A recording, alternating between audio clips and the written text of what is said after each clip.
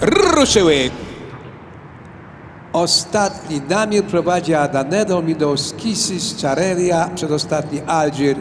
Na czoło stawki wysuwa się Midowskisis, Adanero galopuje trzeci, Dakar czwarty, Czareria piąta, Damir razem z Algirem na końcu stawki.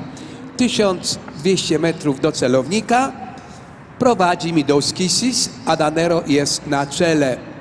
1100 metrów do celownika, nadal Midowskisis, Adanero, Dakar po zewnętrznej, Czareria, Algir z Dalmirem na końcu. Do celownika zostało jeszcze 1000 metrów. Niezmiennie na czele stawki galopuje yy, w tej chwili.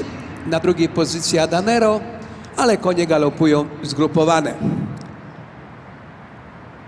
Prowadzi Midowskisis, Adanero.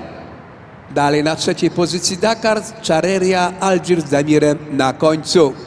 Jeszcze 700 metrów do słupa. Nadal Midowskisis, Adanero. Po zewnętrznej Dakar i wyjście na prostą. Midowskisis nadal na czele, tam Dakar, nie ma przejścia, jest nie Dakar, a Damir jest zamknięty. Finiszuje Algir i finiszuje znakomicie Dakar.